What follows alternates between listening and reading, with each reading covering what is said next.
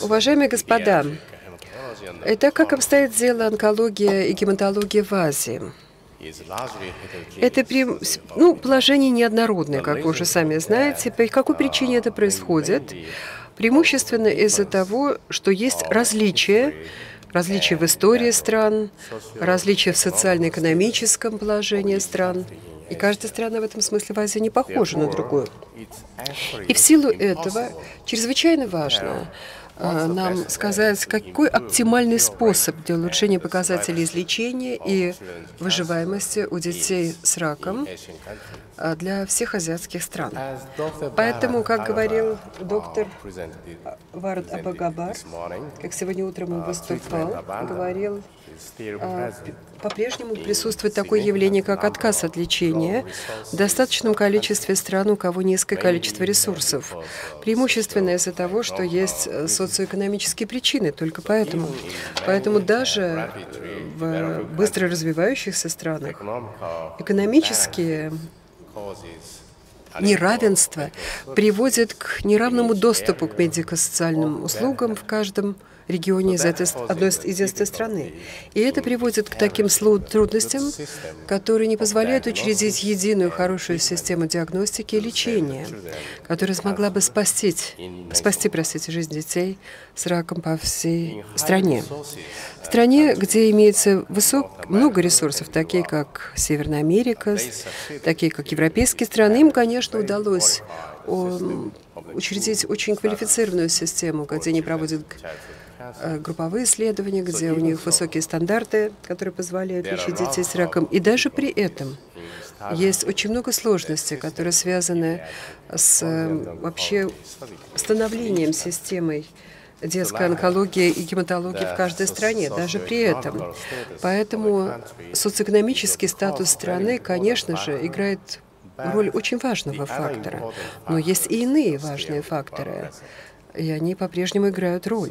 Итак, по нашему опыту Японии мы, у нас единый подход, у нас единая система, единая группа изучения онкологии, э, и называется JCCG, японская группа по изучению рака. Вот только что мы ее учредили у нас в стране. Я бы хотел перечислить некоторые основные моменты, а, основные направления ее деятельности этой группы. Итак, прежде всего, во-первых, давайте укажем это как первое. Небольшая сеть, небольшая сеть, которая имеет крайне важное значение для выживания показателей излечения от раков родители и врачи, которые совершенно воодушевлены этой, этим делом, стали вместе работать над этим вопросом. Это произошло порядка 50 лет назад в Японии. Второй момент. Очень важно не отказываться от своих намерений, даже если борьба идет очень напряженная и сложная. Нужно ждать и при этом не отказываться от своих намерений и стараться продолжать наращивать усилия. И никогда нельзя терять свое воодушевление нашим делом. Третье. Третье. Затем нужно создать небольшую группу, группу для клинических исследований в вашем регионе. А, ну, соберите действительно воодушевленных соратников, которые будут следовать этому делу. Четвертое. Поддерживайте и проводите образовательные мероприятия среди молодежи, среди молодежи, которая хочет работать над разработкой новых диагностических систем, равно как и совершенно новаторских терапевтических стратегий. Пятое. Пятое. Помимо того, что есть разные специалисты, которые работают в этом, например, хирурги, гематологи, онкологи, медсестры, патоморфологи, исследователи фундаментальной науки, пережившие рак, их родители и добровольцы-волонтеры. Вот все мы, мы должны работать в связке друг с другом и сотрудничать вместе друг с другом как уже говорил Пол до этого. И затем последнее.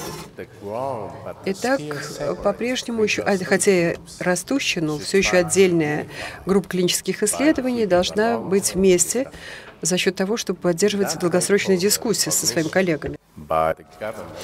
Это должно найти также поддержку со стороны правительства и э, необходимо также добиваться повышения финансирования этих новых э, инициатив.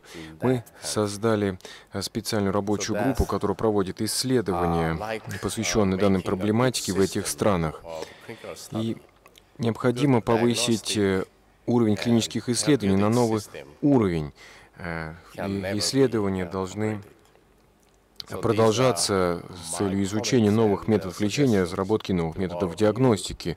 И эти исследования должны продолжаться а, все время. И э, в Японии мы большое внимание уделяем этим проблемам. Большое спасибо за внимание.